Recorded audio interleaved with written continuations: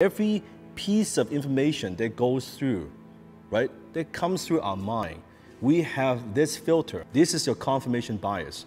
If it confirms, if we affirms what you already believe, you will take that in. If it doesn't, you will ignore it or you would fight, you would argue. And that's why the same piece of content, the same video would provoke such different reactions from people. I know that. It has nothing to do with what I say. It has nothing to do with what I teach. It has nothing to do with what I'm teaching. It's everything to do with your belief, how you see the world, your world view. That's it.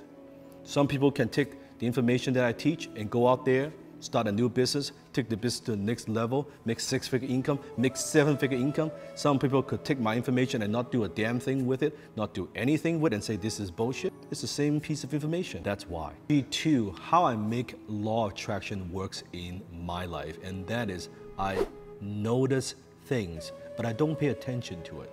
Now, one time we were at the penthouse and it was raining outside, heavy, heavy rain. I was looking over the windows and I was looking out there. I'm like, oh my goodness.